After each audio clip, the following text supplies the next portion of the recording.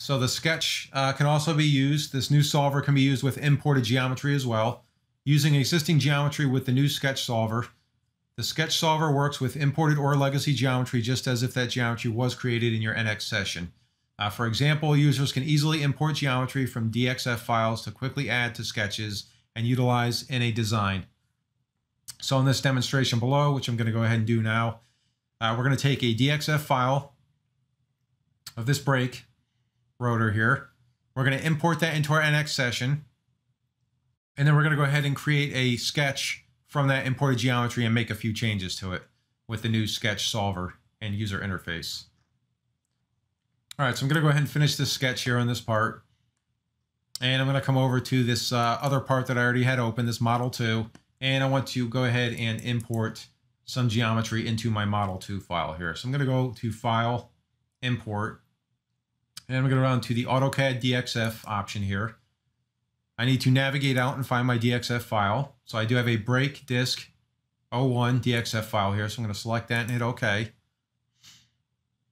Once I select that, I do want to ensure I have a couple settings uh, set here. So I want to ensure that it's going to be imported to my work part, which is my current part. That is the work part in my session here.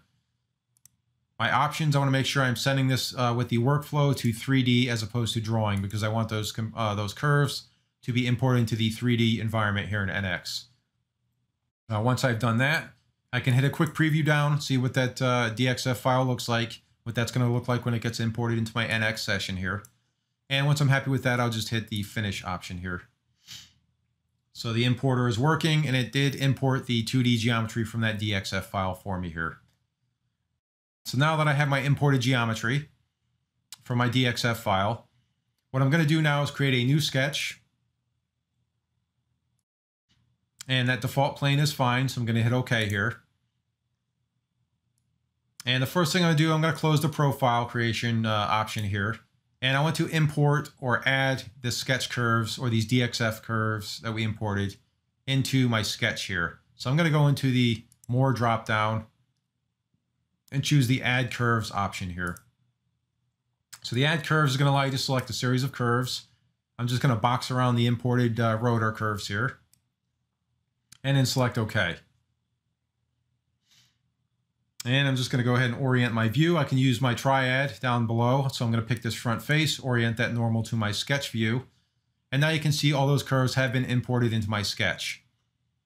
If I double click, or click on this uh, outside diameter, you can see it's immediately recognized as a diameter, and I can modify that diameter value just by typing in a new value in the dialog box here. So let's go ahead and make this 390. And I do want to ensure that that was, uh, let me go back and undo that real quick.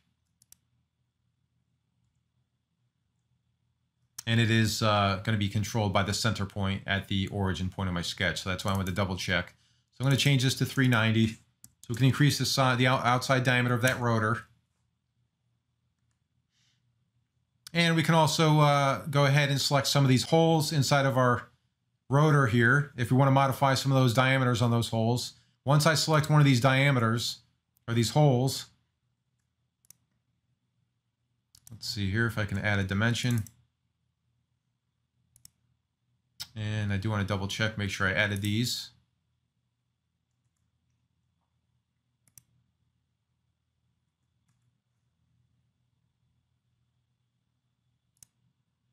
Okay, so there's one of those holes. I don't know why it wasn't working previously, but it worked this time.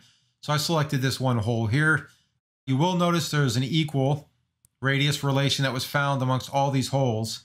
So the solver automatically figured out that all these holes had the same diameter and it created an equal relationship between an equal radius relation between all of those holes. So if I go ahead and modify this value of 8, double click that, and then type in 7 here, you can see all those hole sizes have changed immediately for me. So because the solver figured out that all those holes were the same size, it uh, created that equal radius relation, and I was able to control all the sizes or the diameters on all those holes with one dimension here. So I can come in here now and modify the diameter on the internal here, this ID. So I'm just going to quickly change that uh, dimension here And let's go ahead and type in 90 on that. And immediately you can see the relations that were created in uh, relation to that center diameter there. And immediately all the geometry around it updated when I reduced the size of that hole. So now we have our changes we made to this part. I can go ahead and hit finish.